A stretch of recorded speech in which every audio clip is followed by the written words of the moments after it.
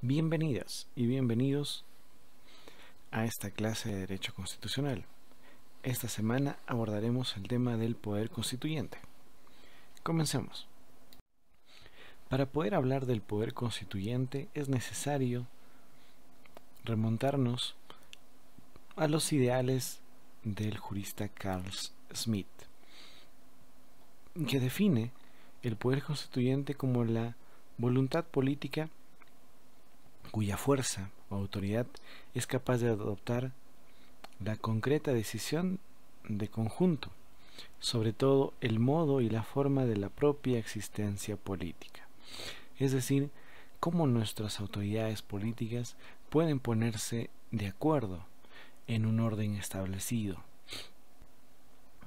Y también la misma sociedad participar de este orden para poder cambiar, para poder modificar su propia política, su propia manera de organizar el Estado, la sociedad, sus normas y la aplicabilidad de ellas. Es decir, cómo una organización política estaría en una amalgama perfecta para responder a los reclamos de la sociedad y generar una nueva constitución. Este ideario muchas veces ha tocado las, las, fibras más sensibles de nuestra actividad política, debido a una razón muy sencilla nuestros políticos difícilmente se pondrán de acuerdo en cambiar la constitución, debido a que muchos de ellos representan intereses personales o de grupos empresariales. La sociedad peruana no tiene un consciente colectivo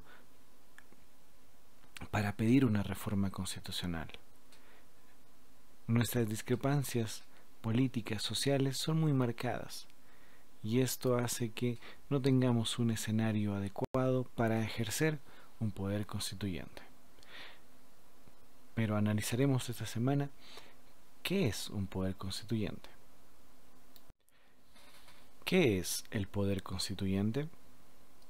Es la facultad que tienen los pueblos para dar normas que organizan a un determinado Estado, es decir, otorgar una constitución.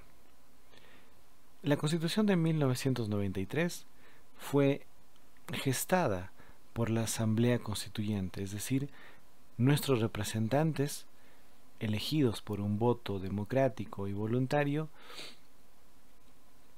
ellos fueron que llevaron la voz del pueblo para poder generar y gestar una nueva constitución, la de 1993. Entonces se puede determinar que nosotros, los ciudadanos, al pueblo, le otorgamos nuestro poder a nuestros representantes para que en nombre de nosotros puedan cambiar una constitución. Clasificación del poder constituyente. La clasificación se divide principalmente en su origen. Para ello existe un poder constituyente originario. 1. Poder originario interno. Nace la Constitución producto de una decisión de los mismos pobladores. 2. Poder constituyente monocrático. Nace la Constitución de una sola persona. Poder constituyente policrático. Nace la Constitución producto de una asamblea constituyente o de un partido revolucionario y poder originario externo. Nace la Constitución producto de una decisión de otro Estado y los pobladores del Estado respectivo pueden resistir o no a la nueva Constitución, la intervención de la ONU en Kosovo, por ejemplo, o Inglaterra cuando intervino Jamaica, o Estados Unidos post la guerra, la Primera Guerra Mundial. En este sentido se puede ver cómo nacen las constituciones, interna o externo, o por un poder monocrático o, o policrático. Manifestaciones del poder constituyente originario.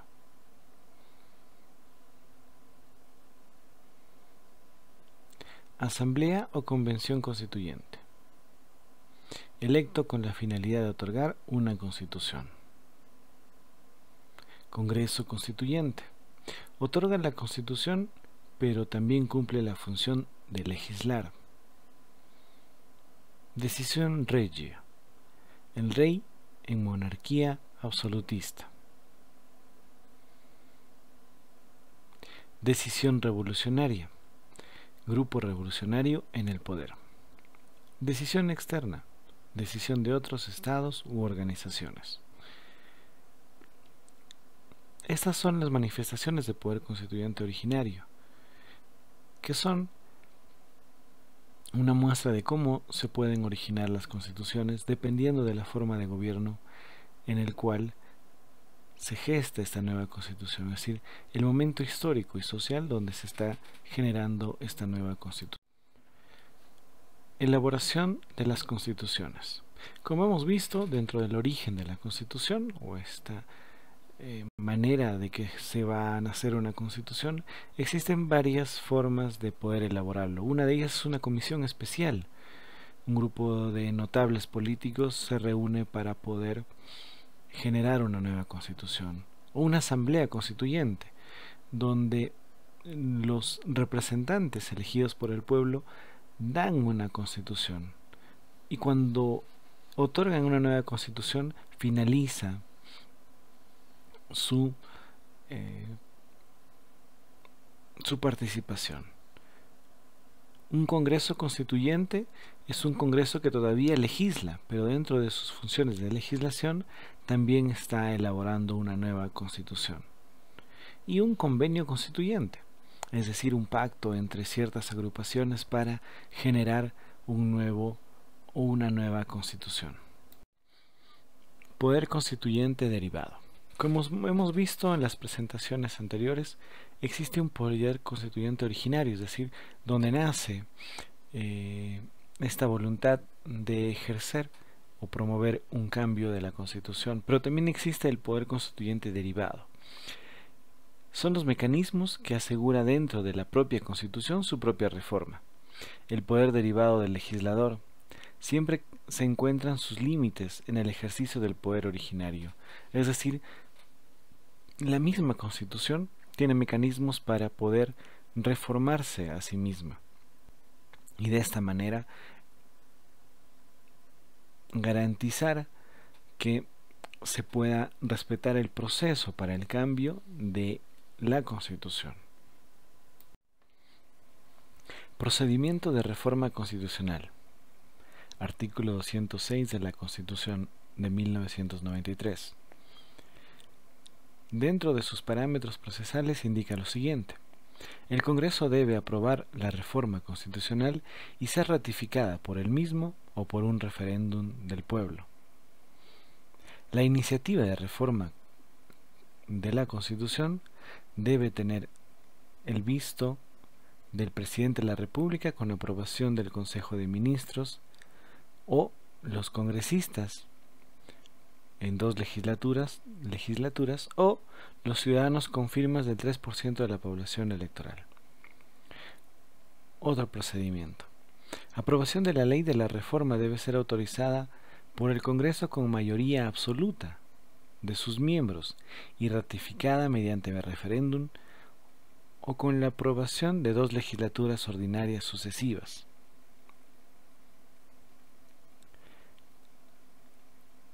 Otro procedimiento. La ley de reforma constitucional no puede ser observada por el presidente de la República. En estos procedimientos es la misma constitución que plantea los parámetros para ser modificada y como ustedes han visto, no solo la participación del poder legislativo y ejecutivo, sino también la participación constante del pueblo a través de una consulta popular. Poder constituido. Los poderes constituidos emergen o nacen de la voluntad suprema del poder constituyente para darle al pueblo en su conjunto una organización política y como consecuencia de ello son derivados, están limitados y regulados normativamente por la voluntad del poder constituyente, actuando la Constitución como un parámetro de validez para la actuación de estos. Dependencia del poder constituido al poder constituyente. Los poderes constituidos son los instrumentos o medios a través de los cuales se cumplen las funciones del Estado, necesarios para alcanzar los fines y propósitos de una sociedad organizada. Las atribuciones que tuvieren asignados en el marco de competencias que cada uno de ellos les corresponda por mandato constitucional. Puede sufrir cambios significativos a la hora de reestructurar el Estado, como quiera, sin restricciones, libre de toda vinculación a organizaciones periféricas.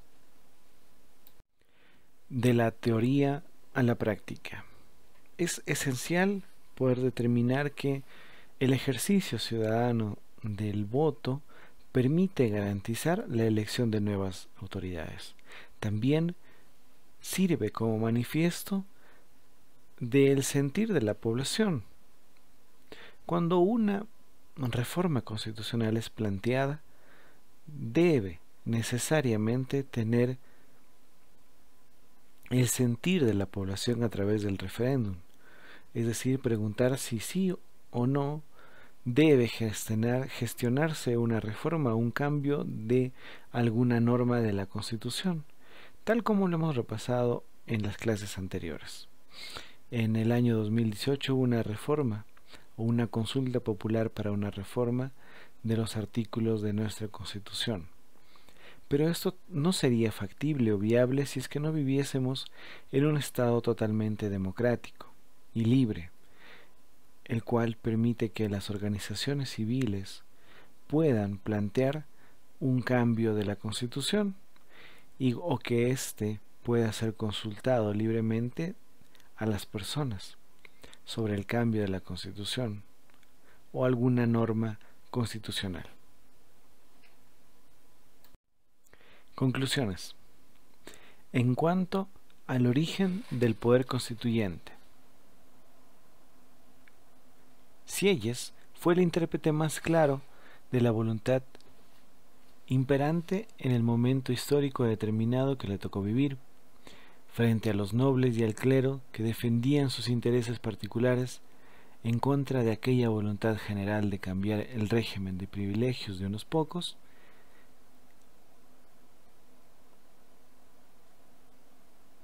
y esto hablando en el siglo XVIII.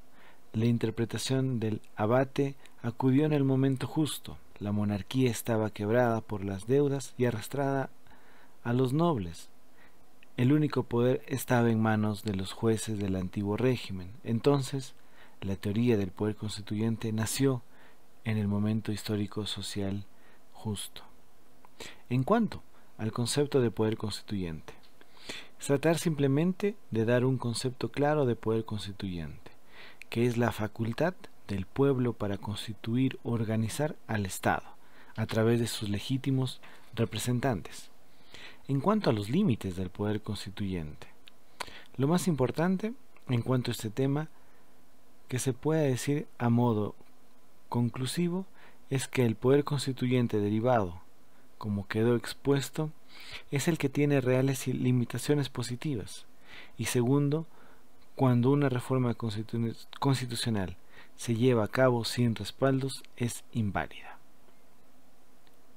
En cuanto a la titularidad del poder constituyente, la titularidad del poder constituyente corresponde al pueblo, y es éste el que va a decidir, a través del sufragio, quiénes van a ser sus representantes para ejercer la titularidad material del poder constituyente. Muchas gracias por la atención prestada. Para ahondar más en tus conocimientos te sugiero poder leer las lecturas recomendadas, visualizar los videos propuestos, asimismo responder las preguntas del foro.